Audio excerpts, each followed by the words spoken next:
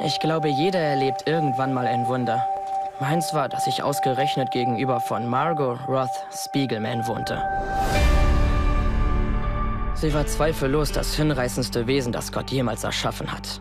Margots Leben bestand aus einer Reihe unglaublicher Abenteuer. Willst du dieses Mädchen bis zum Ende der Highschool weiter anschmachten? Bis kurz vor unserem Schulabschluss waren Margot und ich praktisch Fremde. Bis zu jener Nacht. Was? Margot? Ich brauche deinen Wagen. Was? Ich muss heute Nacht neun Dinge erledigen. Kannst du nicht deinen Freund dafür einspannen? Inzwischen mein Ex-Freund. Mein Freund hat mich betrogen. Der Rachefeldzug beginnt. Nicht so schräg, wie es aussieht. Hör auf! Du bist total durchgeknallt.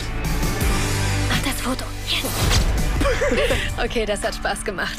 Ich fühle immer noch, wie mein Herz schlägt. So sollte sich dein ganzes Leben anfühlen. Wunderschön. Es ist eine Plastikstadt. Plastikhäuser und Plastikmenschen.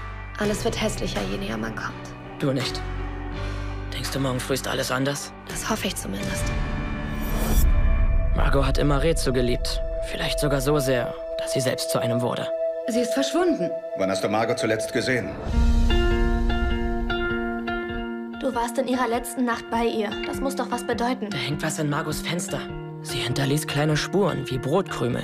Ich habe was entdeckt. Das soll eine Nachricht für dich sein. Komm und finde mich. Wer in die Plastikstädte geht, kommt nie mehr zurück. Ich glaube, ich weiß, wo sie ist. Ich komme mit dir. Wenn sie mitgeht, gehe ich auch mit. Nicht immer auf Nummer sicher gehen, mal was riskieren. Vielleicht ist es das, was sie mir sagen will. Tja, ich habe eine Mission. Hey!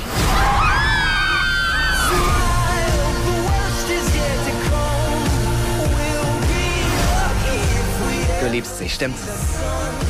Ja.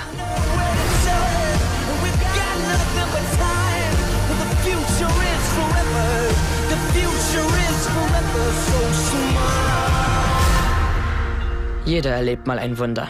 Meins ist Margot Roth Spiegelman.